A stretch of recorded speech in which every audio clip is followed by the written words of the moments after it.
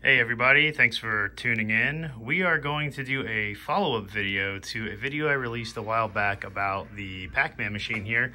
Um, I posted a video about how to easily connect a CGA monitor to your Raspberry Pi. Well, I have since replaced my method I have and I have a much clearer picture right now. So I'm gonna walk you through the steps to get that looking as good as it does. So what you see here is a Pac-Man cabinet that I purchased a few years ago. Um, I probably had it for about 10 years now. Um, it was empty when I bought it, um, had a monitor, no board. Um, so I guess that was really it. It was really just boardless, not empty. But um, it still has the original harness in it. It's still running the original power supply for Pac-Man. And um, I had the original control panel still. I actually took the original Pac-Man joystick and uh, kind of modified it so it would fit the 60 in 1 like multi-game board um, control panel that I got from Arcade Shop a few years back. Got the two and a quarter Happ trackball and uh, this really nice overlay that matches from uh, I believe it was from this old game. I think it was uh, some extra stock he had laying around. So anyway, uh, sit tight and I am going to show you how we get such a clear picture on a Wells Gardner K4901 19 inch raster monitor from a Raspberry Pi. So one thing I wanted to show everybody is, you know, this has a Raspberry Pi in it and something I did to just make the installation simpler without having to splice into the original wiring was I'm gonna try not to blind everybody here. I have my Raspberry Pi using one of these light socket adapters right here. Um, that's coming right off the AC. That's your uh, 5 volt power supply for your Raspberry Pi.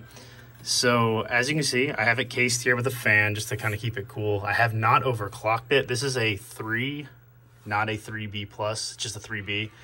Um, so it can't, you know, I can overclock it, I probably should but I haven't done that. So I just want to show my quick setup I have here. So I've got an HDMI adapter going to VGA.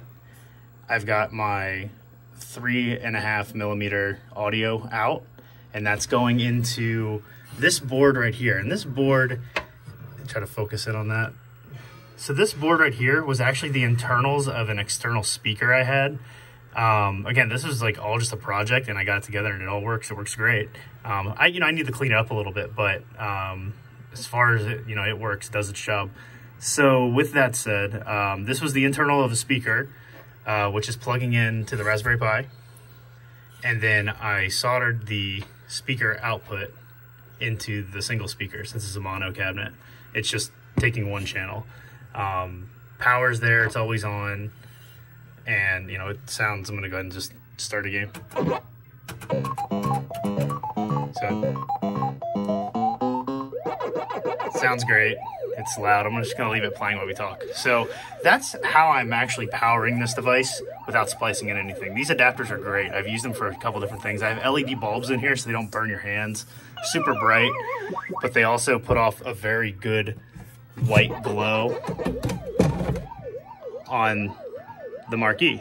So uh, right now I don't have the marquee in. I've got a keyboard up here just for some testing purposes. I just started doing this um, new modification and I've been testing a lot of different things. So with that, let's move on to the video portion. All right, so let's talk about my old setup first. So my old setup, as you saw, I was using this little adapter board here. And what this board is, is a GBS uh, 8100. And what that does is it accepts a VGA input here on the side, and then it can output either through VGA or output through this connector, which you can connect to a CGA monitor, um, which is what we're doing. So that's what I had um, connecting to this before. This required 5 volt power, which you see here. Um, I had this little Molex I just hacked together, threw it on, and um, had it plugged into a little uh, hard drive power supply thing in the back of the cabinet.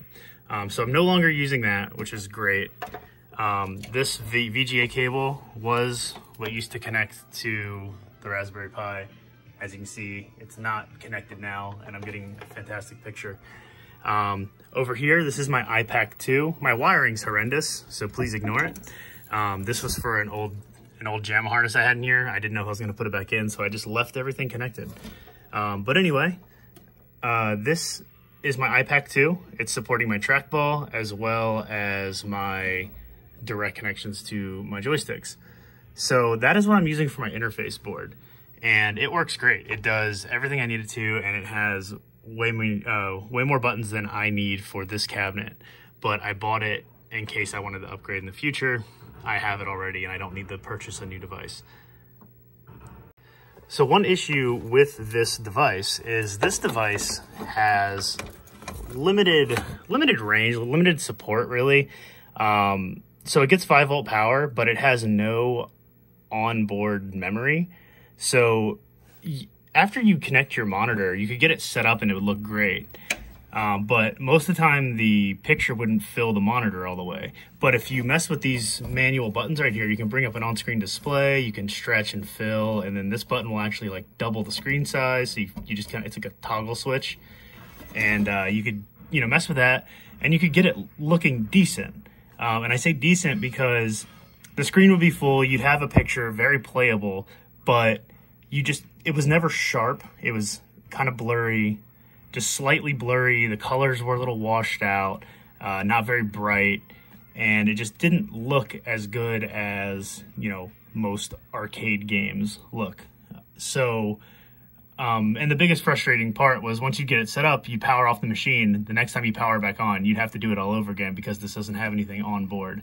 Uh, the only way you'd be able to do that is to have some sort of power supply, you know, keeping 5 volts going to this at all times. Um, at least that was the only thing I could think of. But I didn't want to go that route. So that is why I went to the new method.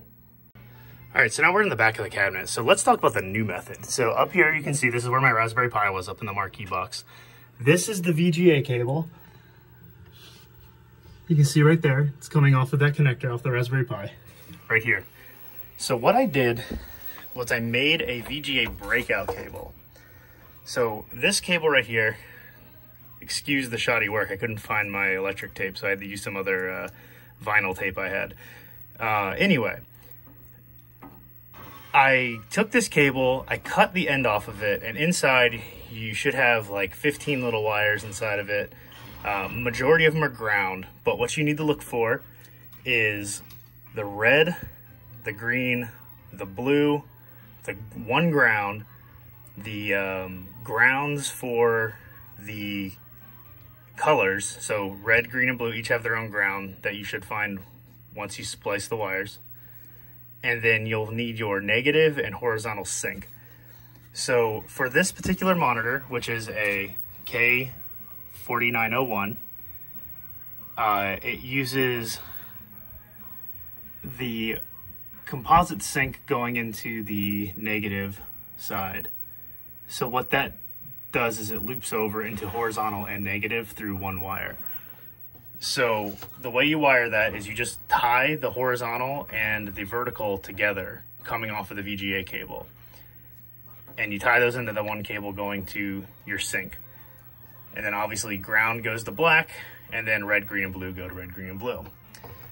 So this cable, when you do that, it does take some knowledge of using a multimeter so you can um, use your ring test to figure out which pin is which cable. The color ones were pretty obvious because they were red, green, and blue, and they were thicker than the other cables.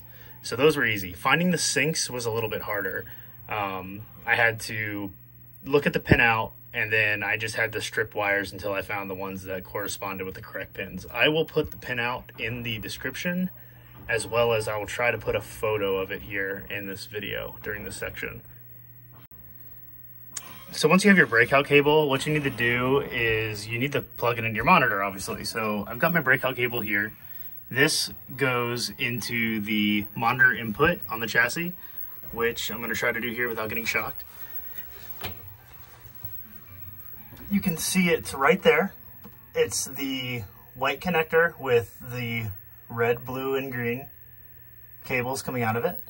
And then next to it, you have a clear connector that's got a, a black cable, which is your ground, and then you've got a white cable, and that's your sync, and it's looped to the negative, uh, negative horizontal and negative vertical sync.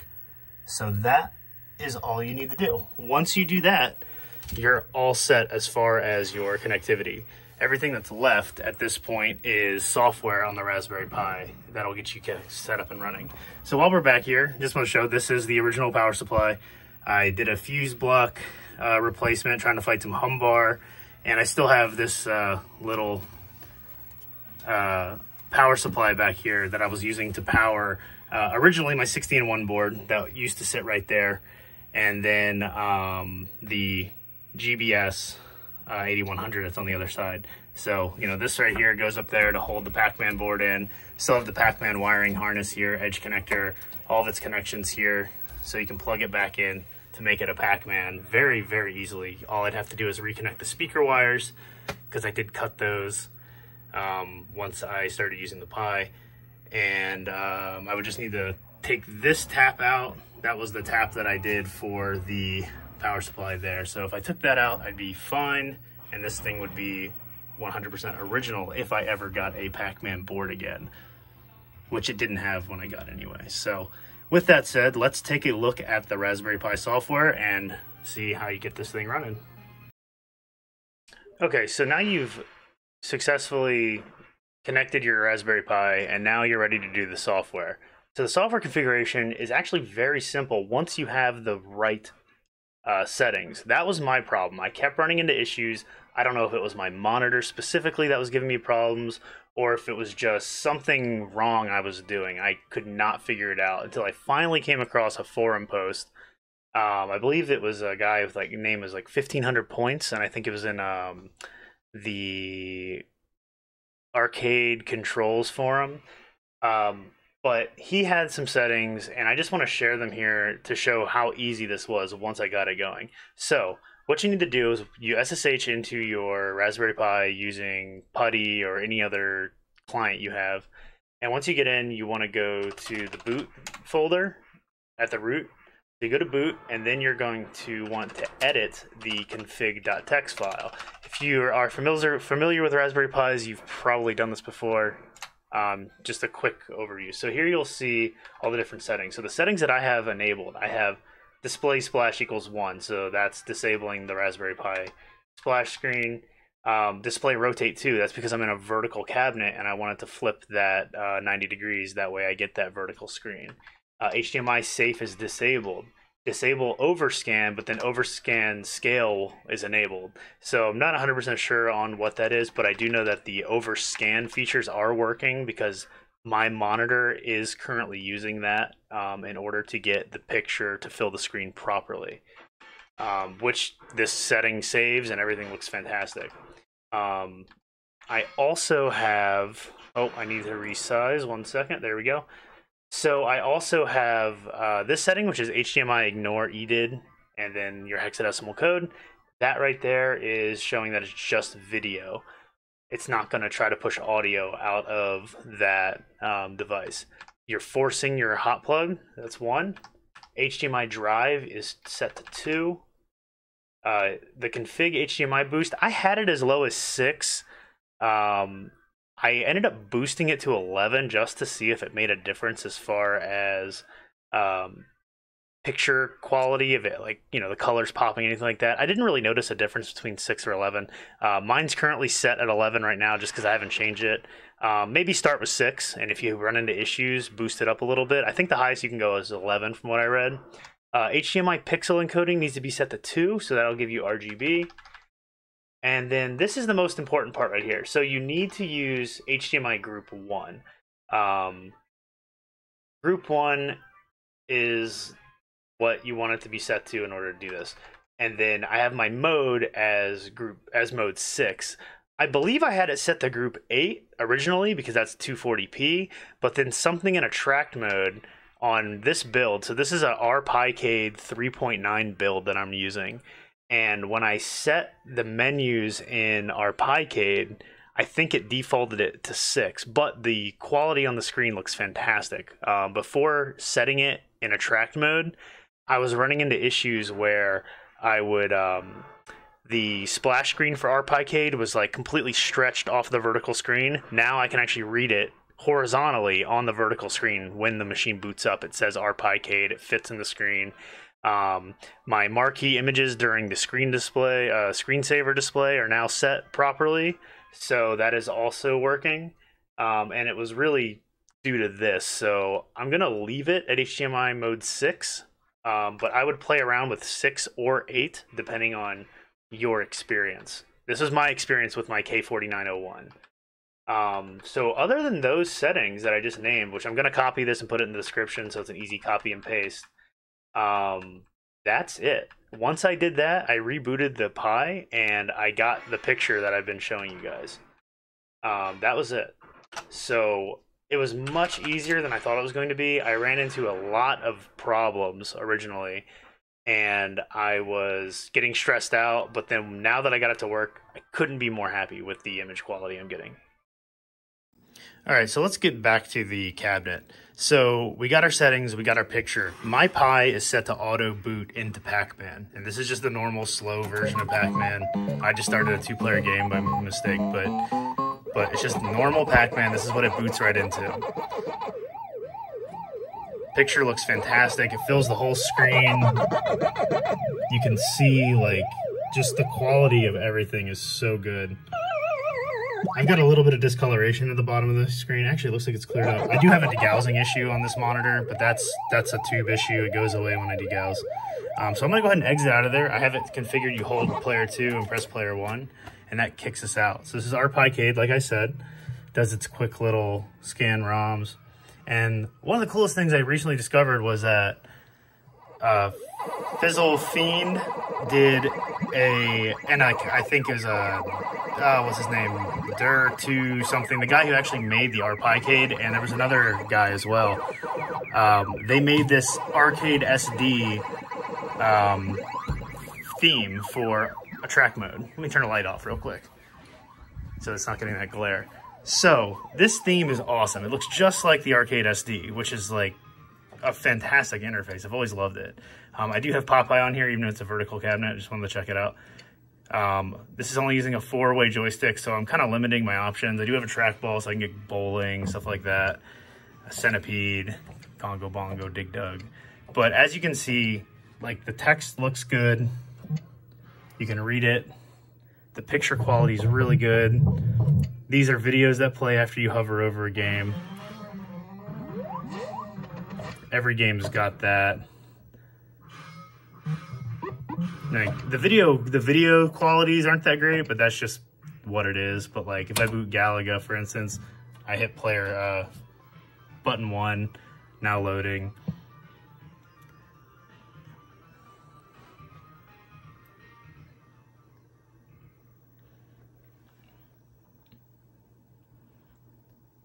The game boots right up and it's, you know, it looks so good. I know these are very primitive games, so saying something looks good is, you know, is it really that big of a difference? I really feel it is. Because just seeing the shape of the ship, seeing the scan lines, the pixels, everything, just the colors pop off the screen. They didn't used to do that. So I'm extremely happy with this. It was something that I could do for the cost of an old VGA cable I had laying around. So if you have the ability to do it, do it. Uh, some of the settings I was talking about earlier with the track mode, if you hit F4 on your keyboard, F4 on your keyboard will take you to this service menu. So this is one thing I, I need to figure out how to rotate this menu because this menu currently always displays horizontally. But the setting that I did earlier was I changed it to low resolution vertical. And when I did that, everything improved. Because before I did that, I think this is when I was on uh, mode 8. This text you couldn't read. It was like missing half of each letter. But then once I changed it to low res, rebooted, then that ARPiCade logo was like in the middle. I could actually see it. Um, and then all the text started showing up nice and clean. Um, that's just that little thing you're seeing is just because my camera is not adjusting to the refresh rate of the monitor. Um, but I'm, I'm super happy with this. This thing's so nice now. Um, and I really just wanted to share this with other people because I have been so frustrated trying to get something nice. And uh, it wasn't really an issue for me until I um, bought an alternative product. So as you can see there, now it reads, it used to be stretched across the screen where you could just see like the PICA and everything else was just stretched off the screen because my resolutions were off. Um, but I bought an alter alternative solution, um, alternative solution, I can't talk. Um, and that was the Raspberry JAMMA or Picade, and that's running on my TMNT, which you can hear in the background of this entire video just because I wanted to annoy you, like to make you feel like you were in a 90s arcade. Um, but, but, anyway, uh, so this I bought and restored. It was a Mortal Kombat 3 that was, um, you know, converted turtles. As soon as I saw the single speaker display, the double coin door, I knew it was a Ninja Turtles. I knew I had to bring it back to what it was. So uh, with that said, I couldn't justify spending $300 on just a TMNT board. So that's when I looked into the Raspberry JAMMA. It was about 200 bucks with the four player adapter, um, which I feel was totally worth it. But what made me go on this journey of figuring out this new alternative method was the picture quality on this when I hooked it up was so good. This this monitor is a K7000 that I haven't touched. Um, it luckily just worked. It looks awesome. I've done zero cap work to it. That's usually the first thing I always do when I get a new cabinet, but this one just looks great. All I had to do was adjust it slightly, um, turn down the brightness, get the colors, you know, boosted up, but it looks awesome. So uh, because it looks so good, and I started researching researching about the ArPiCade and was seeing that this board basically has the VGA to HDMI adapter on the back of it. And that's when I read that the Pi can push out these resolutions. But how to get it to work was my biggest problem. So hopefully now if you're looking for something similar, you can do this. I've given you all the steps to do it. If you have any questions, please leave a comment, shoot me a message, and we will get you set up. This is a great solution. Not to say that the, res the uh, Raspberry JAMMA isn't. That's an awesome, out-of-the-box, straightforward solution. Uh, there's not much configuration you need to do really. Get your image from the ArPiCade forums, download the 3.9 image, toss it on your SD card for your Raspberry Pi, and you should be up and running. Um, just, you know, it should get you to this point. Uh, you can tell your, you know, you can tell what resolution you're using and everything once you get in. But that's really it. It's it's a very good product. I just personally didn't want to buy one for this cabinet that didn't have a JAMMA adapter already. And I already had an I-PAC 2 that already had its, um, you know, connected to the Raspberry Pi. And I already had the trackball and everything else. So for me, using this VGA breakout cable was the best solution. Another solution you can do is go with a J-PAC. And a J-PAC will supply you with the same uh, connection. It'll give you the VGA input that then you can output to your Wells Gardner monitor, um, or any monitor for that, through JAMMA. So that would take this same same exact setup, but just eliminate the VGA breakout cable. You would just get the J-PAC, plug it into your JAMMA harness if you have one, and then you would um, you'd be good to go, essentially. You just have to do the Raspberry Pi configurations, and then you should be up and running. That's actually another post I was reading about, um, or actually it was a video I found on YouTube that a guy did that, which sent me down this road. So I just bypassed the J-PAC altogether and bypassed the JAMMA harness and we're good to go. So hopefully this is informative for you. Like I said, if you have any questions, please leave them in the comments. If you liked what you saw, leave a thumbs up.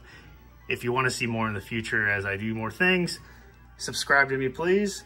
And thank you for watching.